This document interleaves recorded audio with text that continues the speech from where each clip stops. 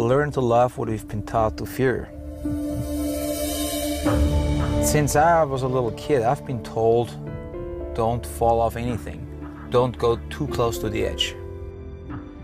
And I didn't, but later on I found out I feel, I feel it feels natural for me being on the edge. So I wanted to see what's behind this edge, what's waiting for me.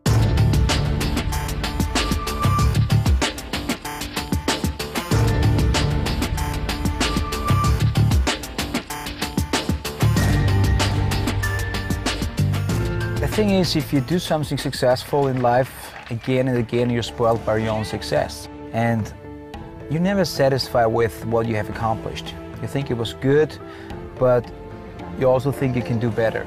So the next time you try so hard to do it better and you reach that level and you're still not satisfied. So it pretty much looks like a never-ending search.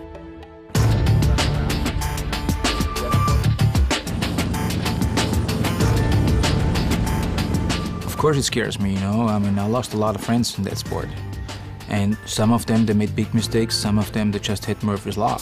And this is the scariest part. But on the other side, if everything would be safe and there's no problem involved, you know, why doing it?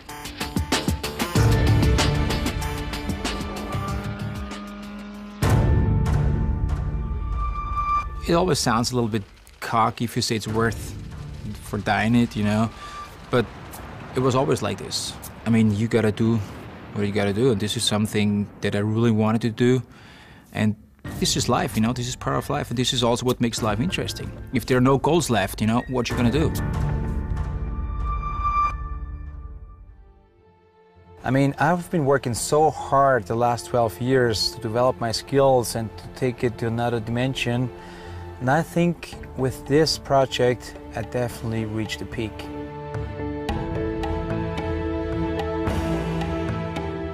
I believe in God and I truly think there is a plan that He has for everybody. And I also think He has a plan for me. It looks like I'm becoming an astronaut. Locking myself in a pressure capsule and going up to 130,000 feet. And I'm gonna slide the door open, bail out, and I'm gonna be the first human person in free fall who's breaking the speed of sound. That's his plan, and that's probably my last goal that I have to accomplish.